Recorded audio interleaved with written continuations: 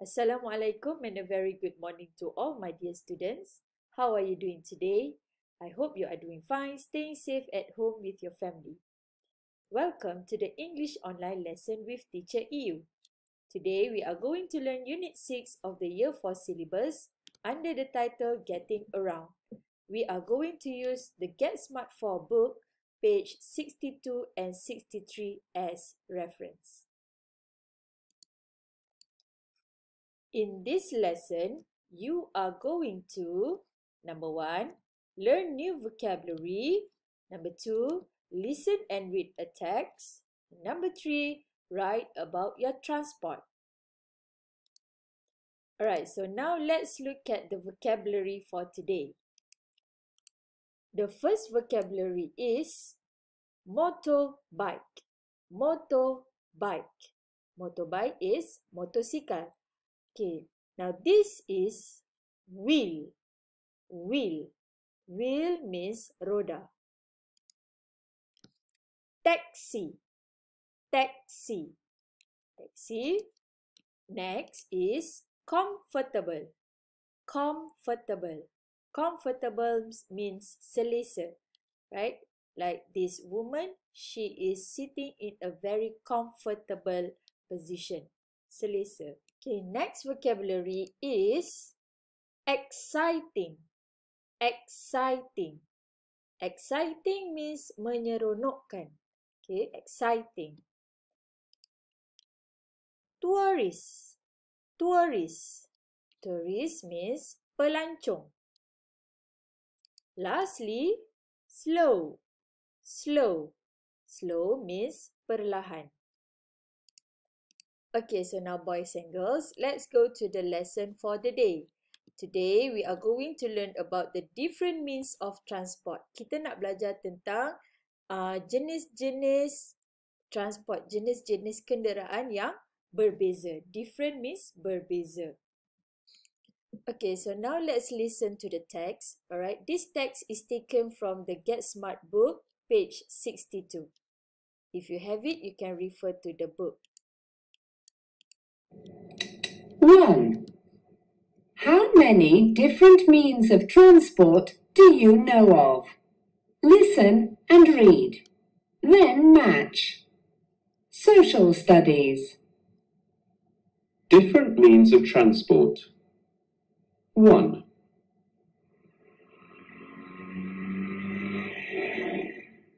A tuk-tuk looks like a motorbike with three wheels. The driver sits in the front and two to three people can sit in the back. Many tourists take tuk-tuks in Thailand. They can be faster than taxis. Riding in tuk-tuks is fun and exciting too. 2. Gondolas are long boats. In the past, people used them in Venice, Italy, to get from one place to another. Gondolas are very slow Riding in a gondola isn't very comfortable, but tourists love it. 3.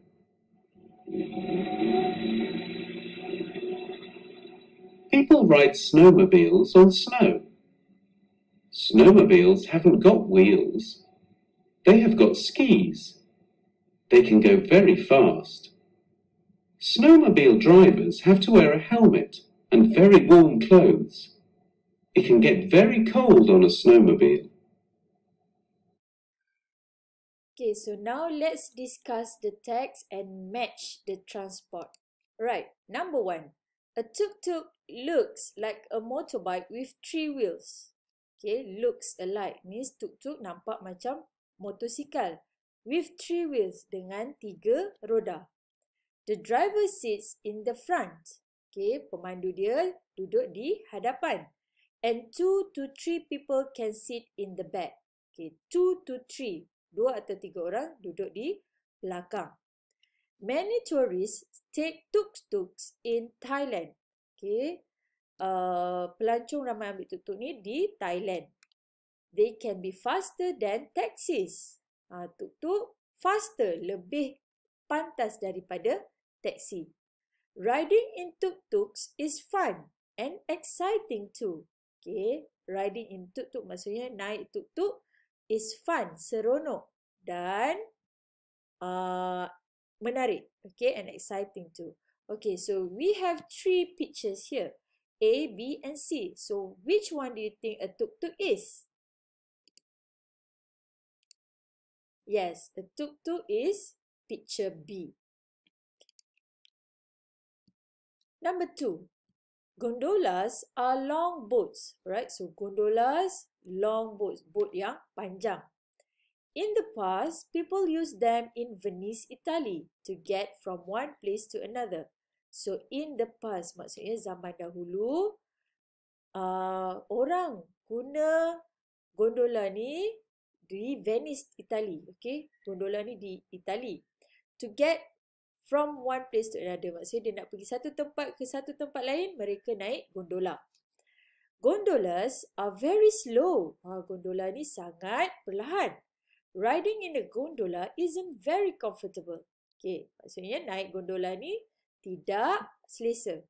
But tourists love it. Tapi pelancong suka. Okay, so which one is gondola? Is it A or C? Yes, gondola is. Yes, gondola is in picture A. It is a water transport. Okay, kenderaan di atas air. Right, now let's look at the last one. Number three. People ride snowmobiles on snow. Okay, maknanya uh, orang naik snowmobiles dekat salji snow. Snowmobiles haven't got wheels. Okay, snowmobiles tak ada roda. They have got skis. Ah, mereka ada skis. Okay, ni skis. Ah, they can go very fast. Ah, snowmobiles boleh pergi sangat laju. Snowmobile drivers have to wear a helmet and very warm clothes, right? So driver snowmobiles dia kena wear helmet to protect the head. Okay, untuk lindungi kepala dia. And wear very warm clothes. Okay, warm clothes maksudnya pakaian yang memanaskan badan dia. It can get very cold in on a snowmobile. Okay, means kalau kita naik snowmobile ni, dia sangat-sangat sejuk. Okay, so uh, so snowmobile is picture number three, right? Now let's look at the value from the text understand different cultures. Okay, fahami uh, budaya yang berlainan. For example, uh, the culture of riding a tuk-tuk is in Thailand. Gondolas in Italy. And lastly, snowmobiles uh, where at the places where there are snow. Okay, so different place, different cultures. Now let's try an exercise. Okay, so now boys and girls, let's figure out whether the sentence is talking about the tuk-tuk, gondola or a snowmobile. Sentence number one. It has got wheels. Ia ada roda. So which transports that has got wheels? Yes, it's the tuk-tuk. Number two. It's kind of boat. Dia seperti boat. It is the gondola. Number three, it hasn't got wheels. Hasn't got mean tiada. Ia tiada roda. Yes, both gondola and the snowmobile. Number four, it's slow. Ia perlahan. So which one is it? Yes, it is the gondola.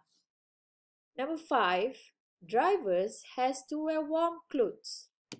Uh, pemandu kena pakai baju yang memanaskan. It's the snowmobile. Okay, lastly number six, tourists take it. Ah, tourist tadi pelancong. Pelancong suka naik dia. So, which transport? Yes, it is both the tuk-tuk and gondola. Okay, so now boys and girls, we have come to the task for today. Your task is take a picture of one of the transport at your home. Write at least three interesting or important information about the transport. Send them in our telegram group. Okay, so awak kena ambil gambar. Okay, ambil gambar, gambar salah satu daripada kenderaan di rumah awak. Okay, and then you write three interesting. Tulis tiga uh, benda yang menarik. Sekurang-kurangnya tiga benda menarik tentang transport awak tu. Uh, and then send them. Letak dekat telegram group kita. Okay, for example, I've done this. Right, for example. So, this is my bike, okay. So I write three things about my bike. This is my bike. It is very special because it has a carrier behind. Moreover, it is purple and purple is my favorite color. I ride my bike with my youngest daughter every evening. Okay, so my dear students, please take one of your transport at home and write at least three things about your transport and share them with us, with the rest of your friends in the Telegram group. Okay, so uh, that's all for today. If you have any problem, feel free to ask me through the WhatsApp or Telegram. Okay, goodbye for now and good luck.